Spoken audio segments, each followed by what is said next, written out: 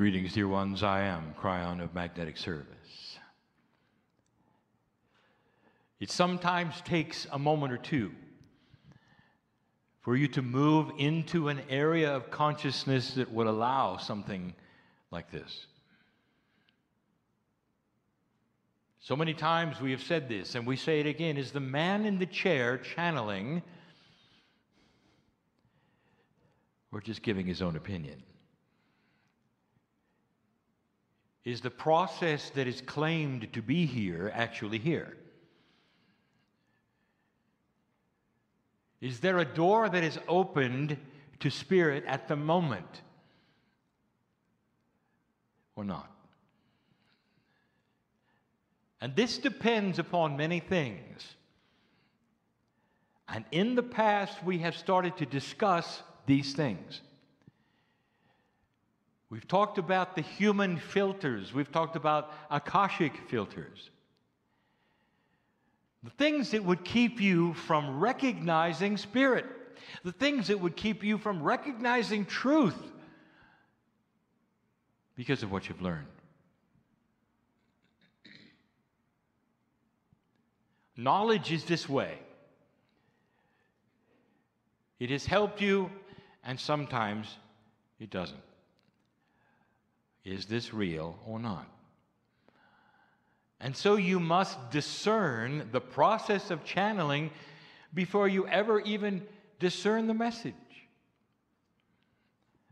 You have free choice, dear human, to discern that this is accurate and true or not. It's going to be important that you do that in this particular message.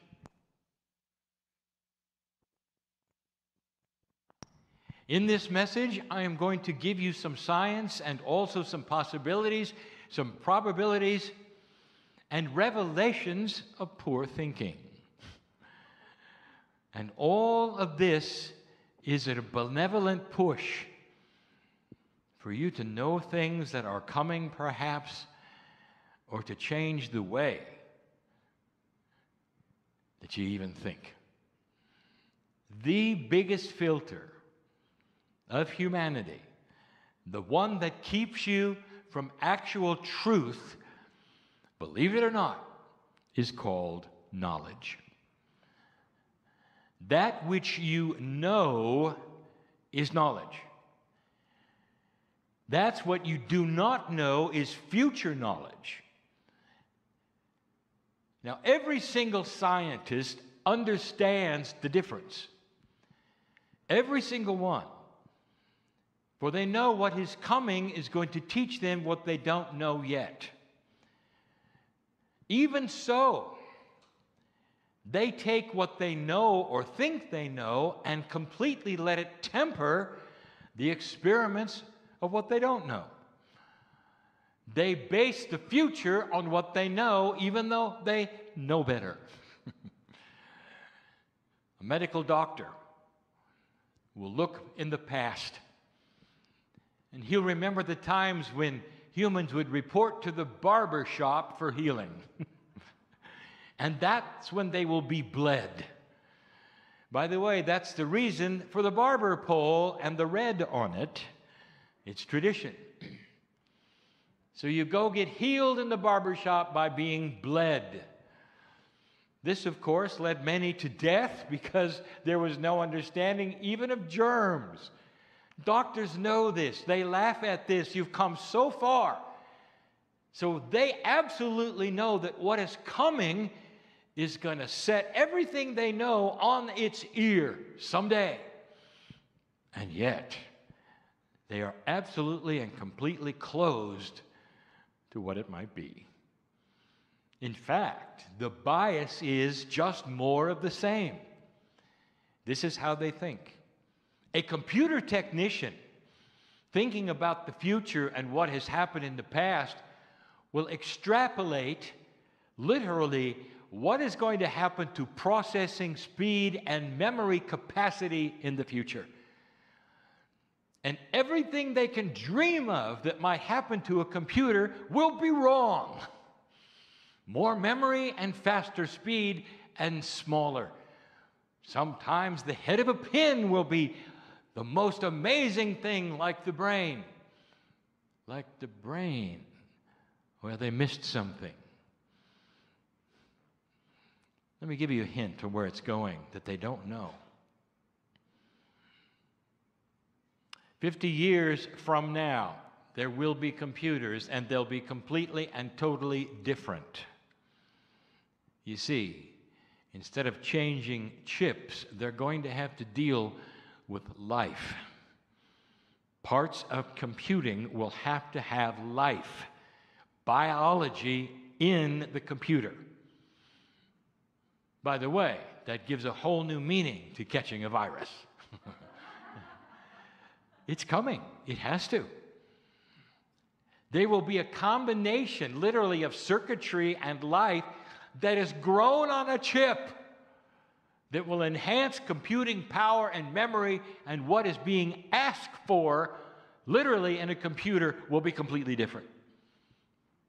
What you ask a computer to do today will be laughed at compared to what you ask for it to do in 50 years. But it will be there.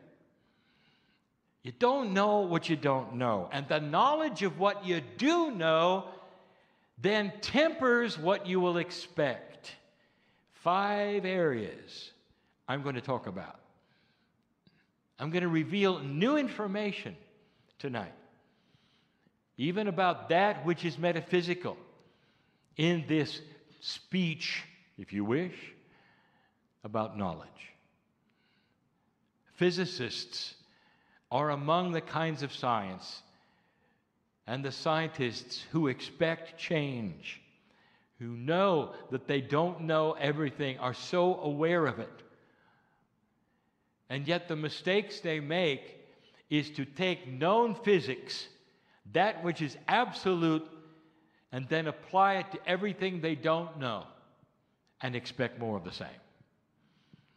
I point to the revelation and the discoveries of Vera Rubin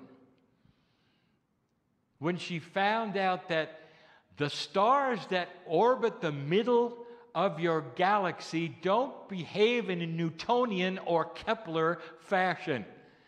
Your solar system has objects around the sun, and the way they orbit is very definable by Newtonian and Kepler kinds of physics.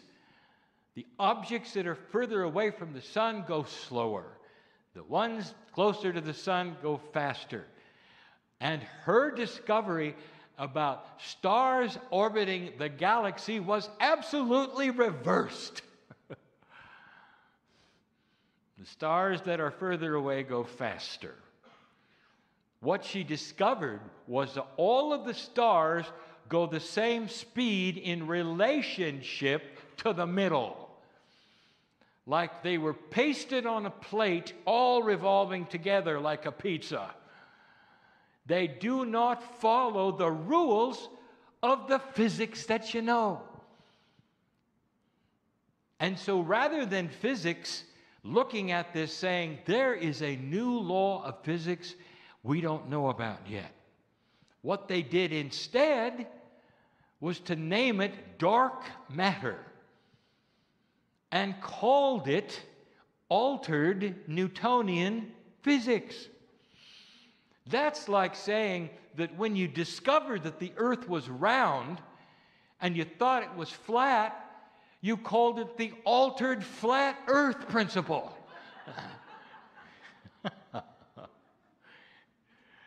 Newton's name is still attached, and it has nothing to do with anything he discovered.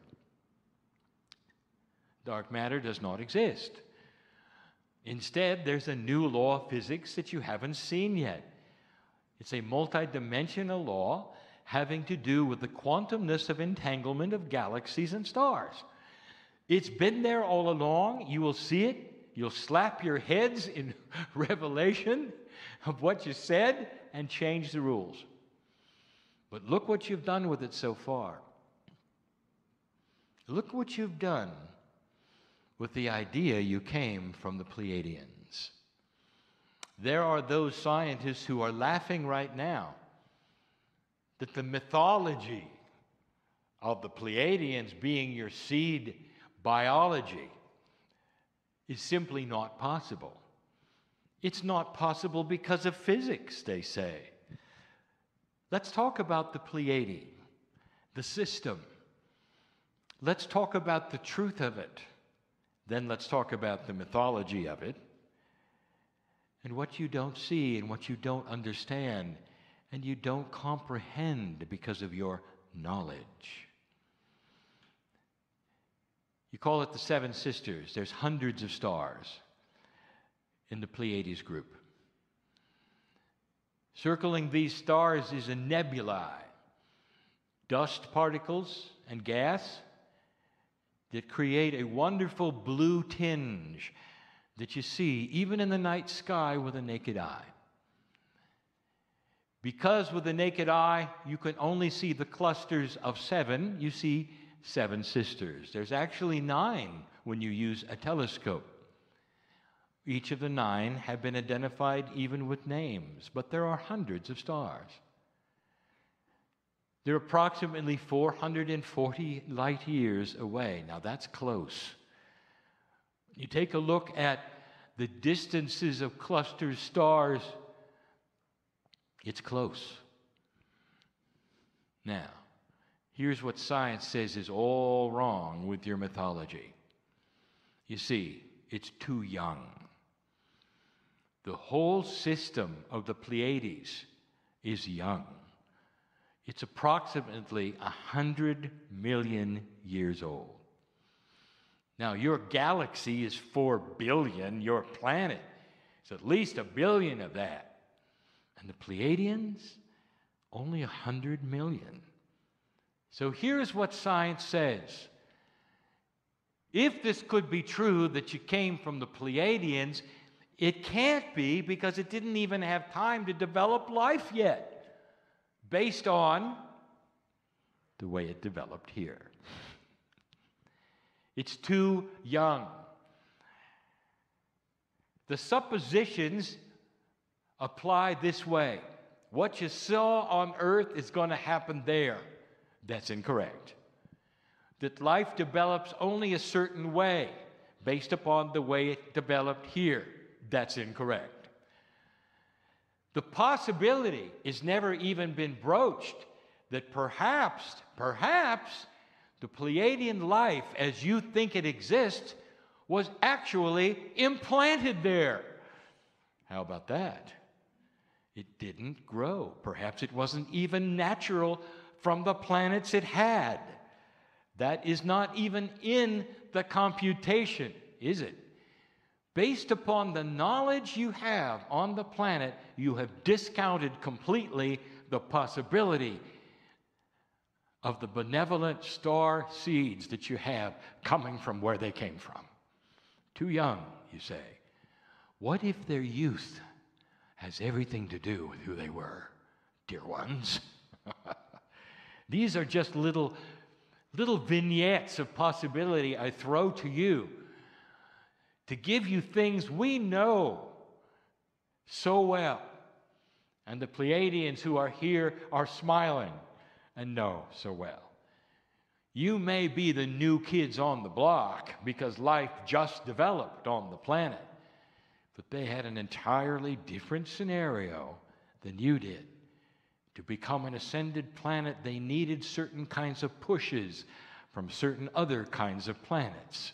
They had their own seed biology. Dear ones, it's important that you start thinking out of the box of your knowledge and open up to possibilities that are not what you've seen here. I want to show you some others.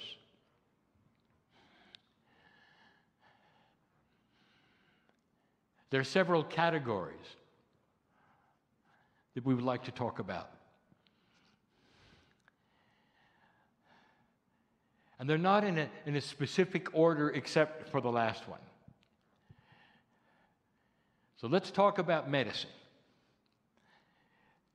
What is medicine going to look like? Now, we have alluded to this in the past, but the finest of finds, the most elegant of predictions have no concept of what's coming.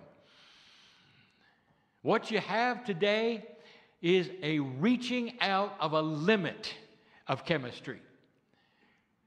Now, the body is chemistry, so it makes sense, does it not? To look at the chemistry in the body and emulate it, to find out how it reacts to disease.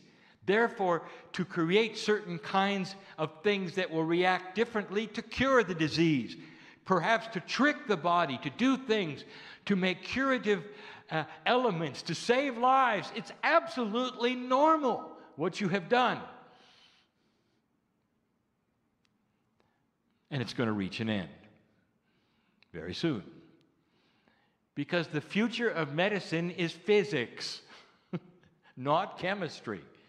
You're going to start understanding and develop physics, physics instruments that are going to speak literally to cellular structure and give it instructions without one chemical. There's always a reaction, isn't there? There's always a side effect. When you push one thing, something else reacts differently, doesn't it? How do you like it so far? The elegance of chemistry, the best chemicals you have that are helping with the worst diseases on the planet, all have side effects, and some are death. And I say, how do you like it so far? Does it seem elegant to you? It isn't. It's just another way of bleeding in the barbershop. And that's what you're going to look at someday, and you're going to slap your heads and say, Remember the day when we did it with chemicals. Right now, going on on the planet are experiments that you wouldn't believe. They're making discoveries to heal some of the most heartbreaking diseases you have. I reveal one because it's not a secret. I never give you things that somebody has not either worked on or thought of with free choice on this planet. That is the guideline of channeling. We can't give it to you. You've got to develop it yourself. However, we can put you in an energy that is a faster one of free choice. That is to say, it's more obvious. Alzheimer's is heartbreaking. There are millions on this planet who develop it, seeming more all the time. It seems that way because you're living longer, and the, the plaque like material that literally obfuscates that which is memory and clings to the certain parts of the brain, encrusts it, restricts it, imprisons it, and pretty soon you know what happens. Alzheimer's is going to be cured with physics. They're starting to find out that the plaque like substance that imprisons those parts of the brain of memory, remembrance, is shatterable with sound. with high frequency sounds tuned a certain frequency a certain way, the sheaths are literally dissolving and coming off.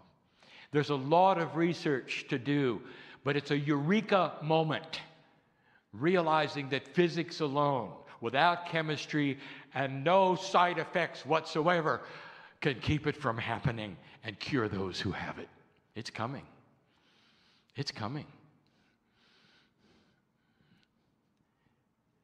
It's going to happen with energy.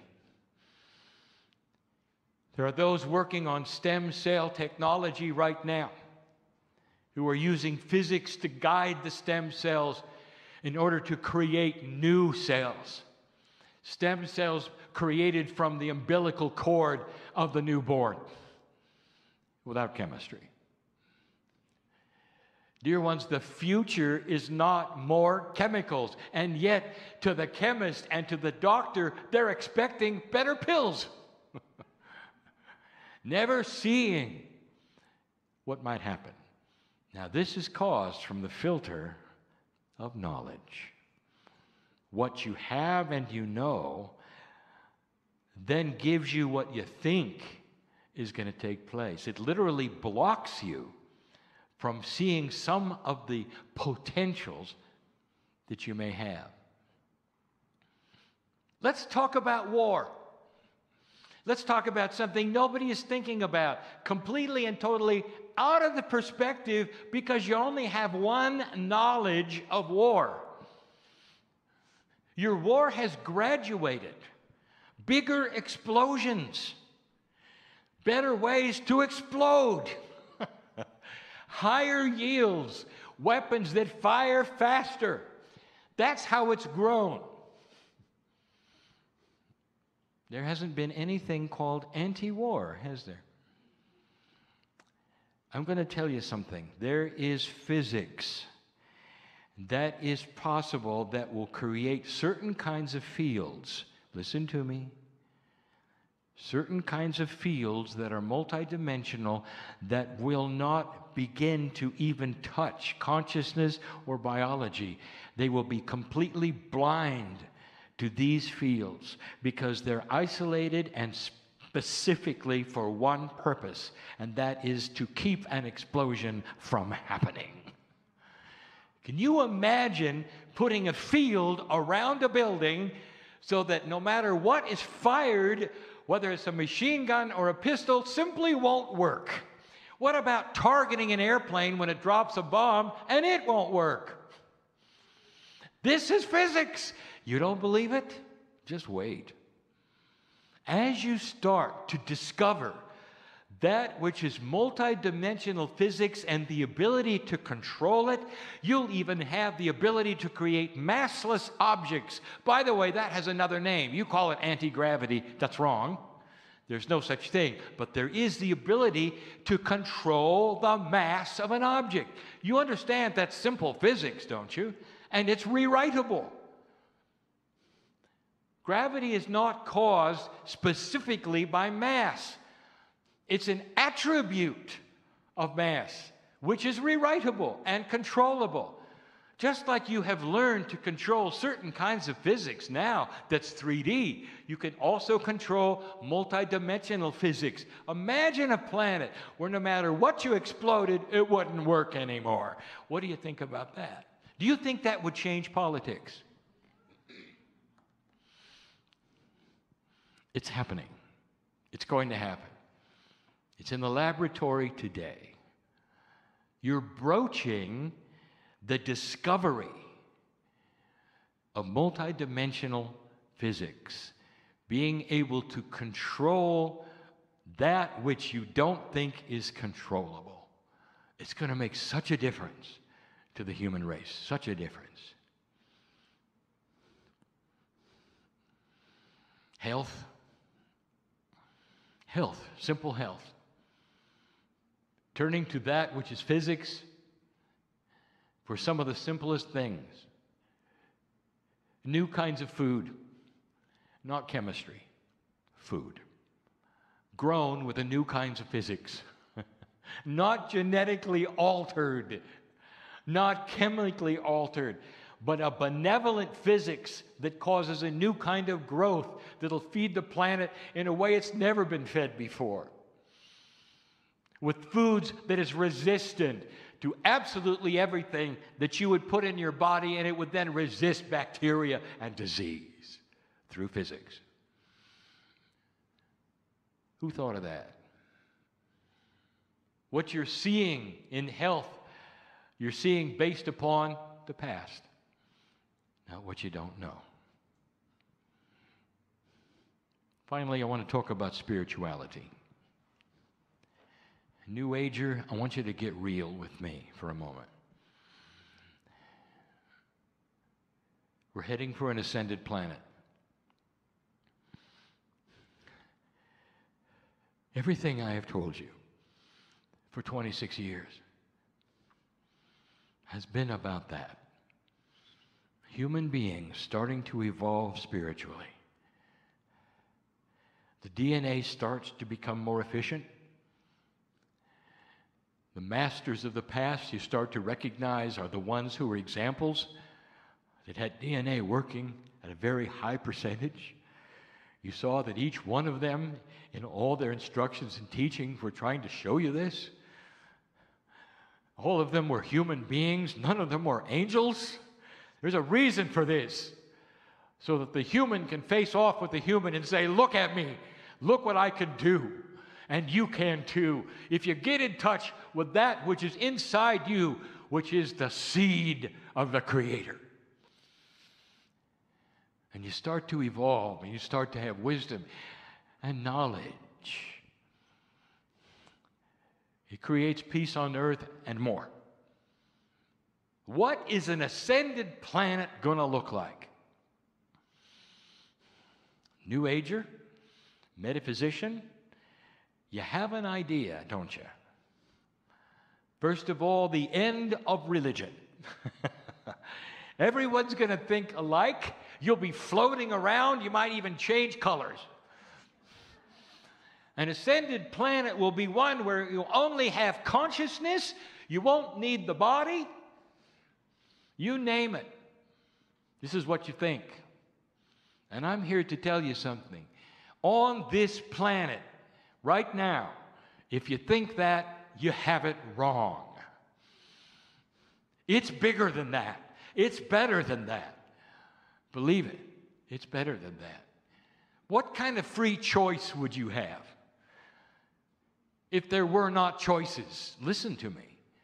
You don't homogenize a planet through wisdom. What you do through wisdom is get along. you don't become the same. And there will never be a time when you don't have free choice. I realize my partner just told me I used a double negative. you will always have free choice on this planet of the energy that you wish to take as your own.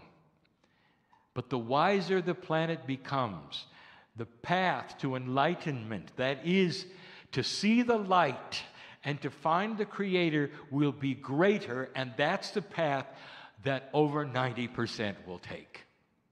You will always have those who don't agree, but you will get along. There will be wisdom, so there will be no more war. There will be certain kinds of physics and invention to prohibit it.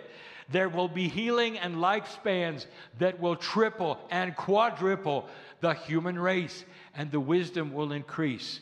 You'll get to a place where you look a whole lot like you look now and you get along. Religion, it will simply get wiser. And what that means is that it will morph. There will be new leaders claiming new kinds of things. They will then become the doctrine. The shift in energy will be obvious, and the doctrine will change accordingly because the leaders will be in touch with God and be believed. Therefore, they will then create new doctrines, which will be those which get along. They'll understand it's okay to embrace every kind of different religion. You can stay in your box and still love one, someone in another box. Isn't that wisdom? It's different than you thought, isn't it? The Pleiadians had a planet which became so evolved they could control that which was their physical. Physics was controllable by consciousness. This is where it's going. Life force itself could be then restricted to consciousness without a body and through entanglement travel to another place. They're still here. The physics of that requires that you understand it cannot go back to the physical. You must stay in a, an ageless consciousness state without physicality. I know for some of you, I am talking in riddles. And some of you know exactly where I'm going with this. This can be you too, and it won't be for a million years. This happens slowly, it's happened before. You're on the cusp of discovery of how it works. And it won't work through anything you think you know. the knowledge filter, the biggest restriction you have to truth, and it's being broken, broken down, dissolved by old souls like you, thinking beyond the box of the way it used to be or what might happen, sitting there with their arms out, saying to Spirit, Bring it on. It doesn't have to be what we think. You're the ones to make the difference on the planet. The last one is important spirituality. I want you to take the attributes of mastery. I want you to stop being strange. like a master of the planet, a loving person that people want to be with, because you have the attributes of mastery. You're balanced. If somebody comes to you, you know how to hold them, hug them, hold their hand, listen to what they have to say, cry with them if you need to, laugh with them when you need to. That's what the masters of this planet's done. They understand human nature. You're an old soul. You've been there and you've done it. There is no excuse for you not understanding. This is your legacy.